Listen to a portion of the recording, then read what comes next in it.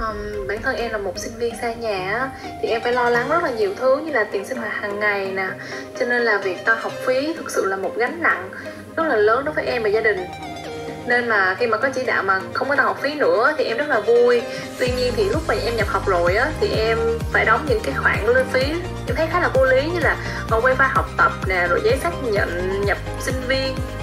Em thực sự thì em không có hiểu được là những khoản chi phí đó là gì cả không cho người ta học phí thì sẽ được cách thu cái khoản khác bù vào làm sao mà ta khỏi vì thế nào thì sinh viên cũng có đồng ý vì không đồng ý thì có nghĩa là thì không Tôi vô cùng sửng sốt khi mà thấy bậc đại học của chúng ta đang tự chủ theo cái mô hình này.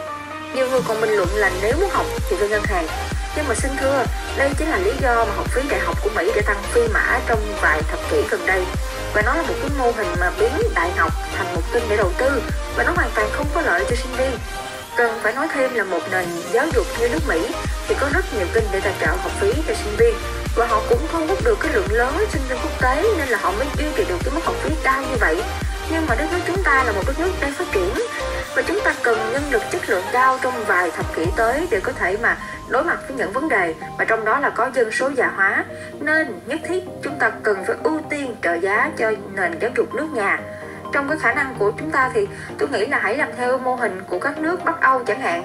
Họ trợ giá rất nhiều cho các bậc đại học, rồi cao học, trường nghề, để mà mỗi sinh viên có năng lực thì đều có thể tiếp cận được với giáo dục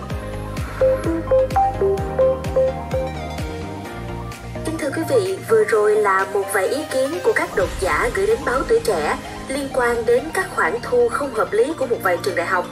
Ngay khi có chỉ đạo sửa đổi Nghị định 81 theo hướng không tăng học phí năm học 2023-2024 ở tất cả cấp học, nhiều phụ huynh và học sinh đã cảm thấy an tâm hơn về khả năng tài chính trong việc tiếp tục vào đại học.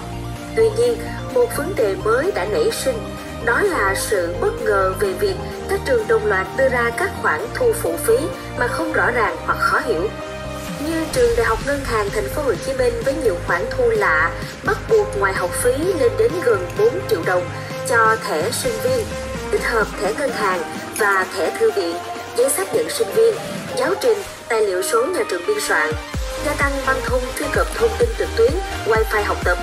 Trường đã thu học phí nhưng lại có thêm khoản học phí tiếng Anh chuẩn đầu ra bậc 3 trên 6 mức 4,5 triệu đồng và học phí kỹ năng mềm 600.000 đồng. Với tổng chỉ tiêu đại học chính quy năm nay của trường là hơn 3.600 sinh viên thì khoản thu ngoài học phí lên đến hàng chục tỷ đồng.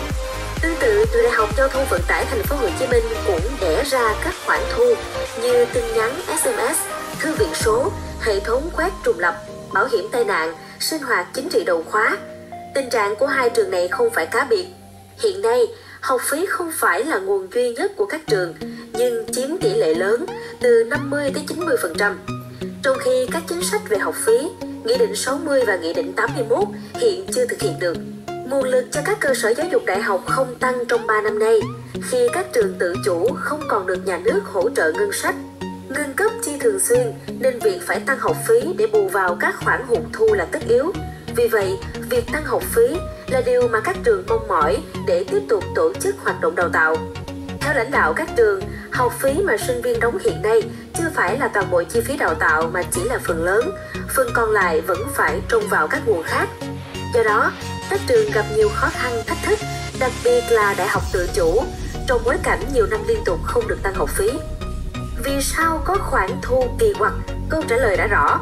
Và chúng ta cũng phải nhìn vào sự thật dù khoản thu có tên gì đi chăng nữa, học phí hay khoản thu kỳ quặc với sinh viên và người thân đều là tiền trong túi mà mọi gia đình phải chi ra cho con em để được đến trường.